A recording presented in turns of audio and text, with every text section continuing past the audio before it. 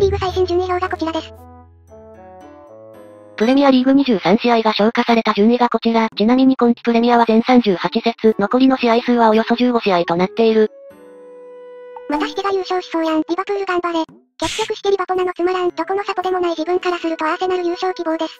ハーランドとデブライネ並べてプレミア破壊して結局今年もしてが優勝する系のやつや。なおビッグ6の一角チェルシーは昨季12位だったため今季は CLEL がなくリーグ戦に集中できている模様。現在は11位。なんでチェルシー11位なんだよ笑い。あれだけ金使って補強したチェルシーがさすがに11位なわけないか。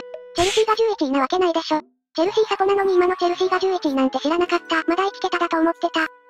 もちろん CL 権争いも熾烈。ただしリバプールが今季 EL 優勝して、もし5位以下になれば、5チームに CL 権が与えられる。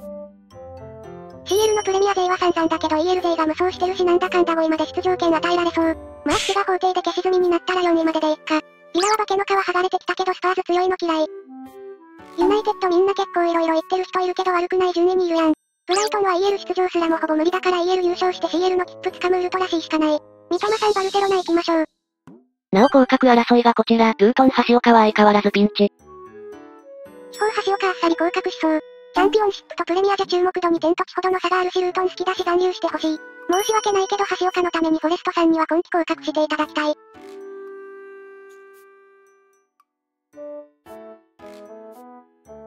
バートンが勝ち点取られたのに引きがまだなのガチで納得いかない。